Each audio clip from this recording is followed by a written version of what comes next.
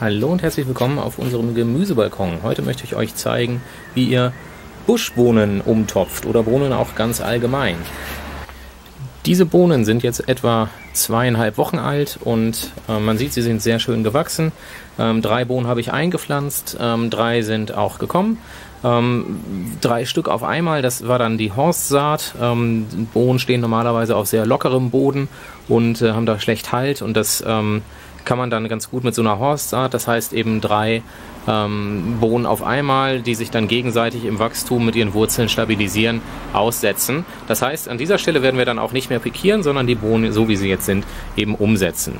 Bohnen bilden so kleine, ja, nennt sich Knöllchenbakterien, die nehmen selber ähm, ja, Nährstoffe, Stickstoffe aus der Luft heraus auf und sind dementsprechend auch relativ entspannt, was das Düngen angeht. Ähm, ich habe jetzt hier trotzdem Gemüseerde genommen, aber werde dann jetzt auch nicht weiter, äh, weiter gießen. Um jetzt ähm, umzutopfen, graben wir ein entsprechendes Loch und hier bietet es sich dann eben gerade auch bei so einer Horstsaat äh, tatsächlich ganz gut an, äh, wenn ihr mit diesen kleinen äh, Anzuchttöpfchen arbeitet. Die kann man gut aufmachen, aber danach bleibt alles relativ stabil. Jetzt könnt ihr euch überlegen, ähm, man könnte es auch alles gemeinsam einpflanzen, aber müsste eigentlich so ganz gut gehen. Ja, das funktioniert. Ähm, jetzt haben wir hier drei Bohnen, die alle schön miteinander verknotet sind. Setzen sie ein und dann äh, ist das Umtopfen eigentlich auch schon wieder geschafft. Was noch fehlt, ist natürlich das, das Angießen.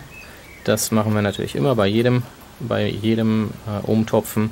Und dann ähm, ja, kann die Bohne jetzt mal wieder weiter wachsen.